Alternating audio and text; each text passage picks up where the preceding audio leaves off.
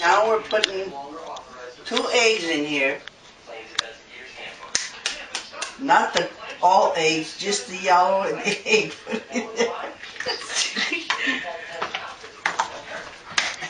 This is Mume Lola making poofing.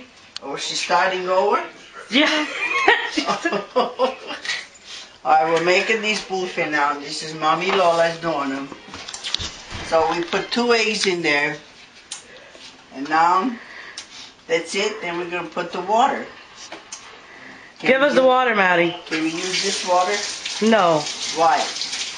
that's well water. Well, I got to warm the water then. How about that Chanico? You have to warm it? Gotta get Come hot water. Okay, this. we're back on. Okay, now me and Mandy. We're back on Mume Lola's pooping. No, so you gotta make it serious. Okay, me and uh, Pi is making the buffet, and she's helping me. She's learning how to do them. Like this now. Go like this. This is the gypsy bread. And how does it feel, Mandy? Good.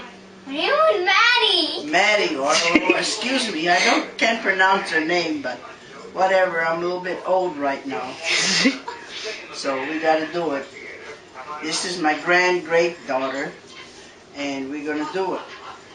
So Mandy, we're gonna fry them, and we're making the gypsy paprikash with uh, pork meat, buriatse,